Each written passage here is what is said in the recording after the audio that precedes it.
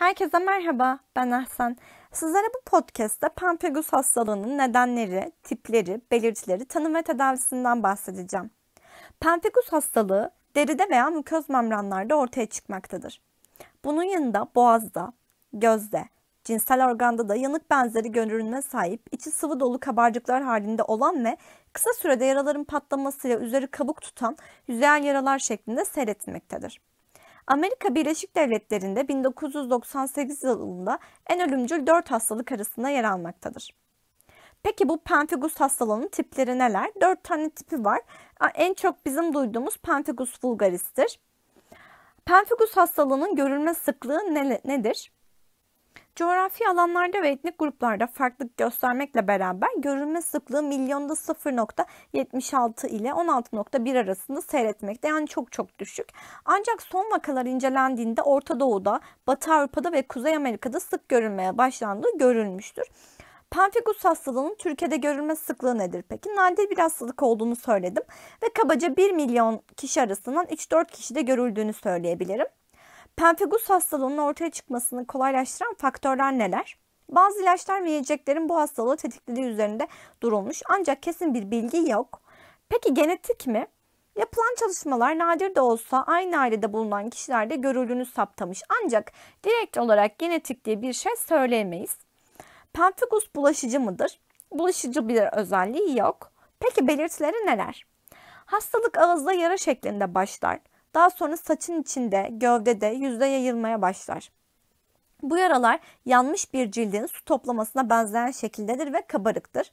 Zamanla bu yaralar patlar ve kabuk bağlar. Bu yaralar gözde çıkarsa yanma, kızarma, kaşıntı şeklinde belirti vermektedir. Burunda çıkarsa kanama, kaşıntı, akıntı, tıkanıklık.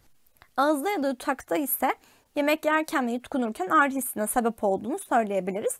Bazen cinsel organlarda ve çevresinde de görülmekte ciddi ağrılara sebep olmaktadır. Pemphigus hastalığının seyri nasıldır? Ölüm oranları değiş, değişmekle beraber tedavide kortikosteroid tedavisi uygulanmakta. Yakın gelecekte vaka sayısının sıfır olması kortikosteroid ilaçların etkisiyle olmuştur. Bu hastalıkta yardımcı tedavi seçeneklerinin yanında rituximab gibi umut vadeden bir seçenek daha bulunmaktadır. Rituximab 2002 yılında kullanılmaya başlamış ve bu konuda Fransa'da çalışmalar yapılmaktadır. Tedavi edilmeyen hastaların %80'i bir yıl içerisinde ölmekte. Günümüzde tedavi olan kişilerde bu oran %5 ile 20 arasında seyretmekte. Yani tedavi olduğunda çok çok düşük bir ihtimal var ölüm konusunda.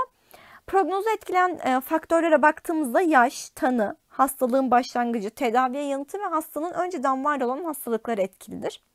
Pemphigus hastalığı nasıl tedavi edilir?